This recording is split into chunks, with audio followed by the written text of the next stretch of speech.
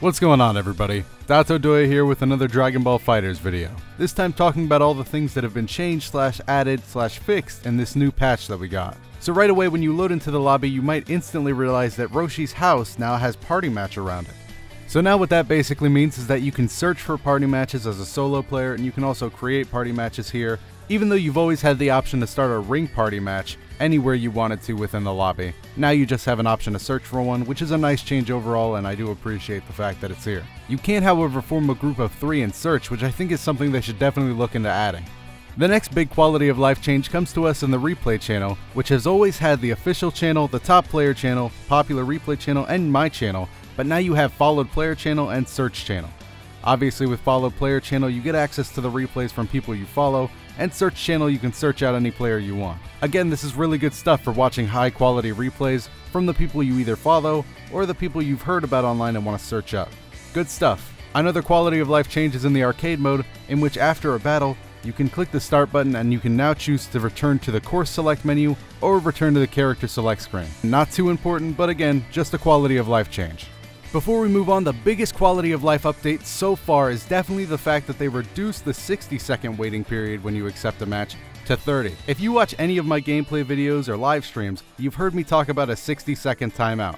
Basically, if you accepted a game and the other person felt like it, they could just watch you sit there for 60 seconds, and now they can only watch you sit there for 30, which is way more acceptable. Definitely my favorite part of the patch. But now we get to the real juicy stuff, which involves the gameplay of both system mechanics and two characters in particular.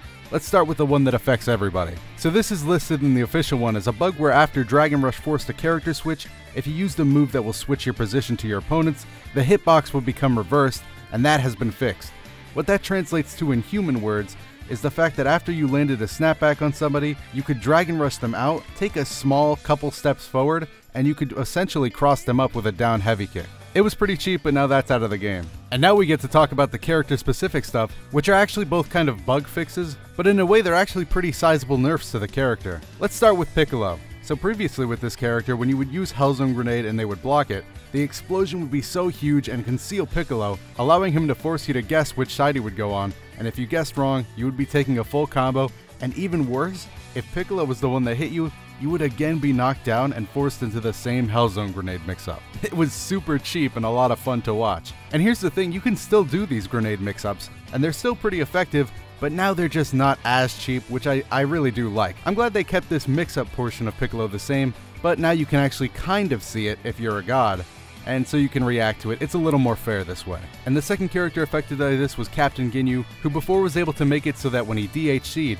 you could do a move for less meter than it would usually cost. With his level 1 super, it was a bug that allowed you to get like two level 3s off for the cost of just 3 bars.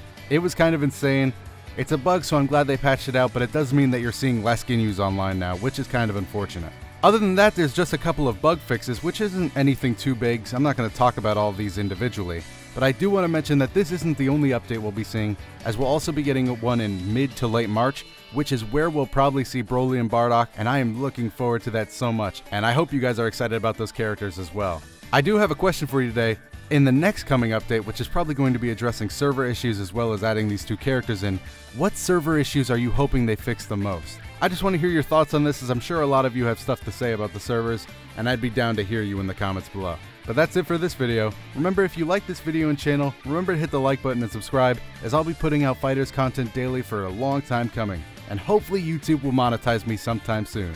Please YouTube, I really am starving over here.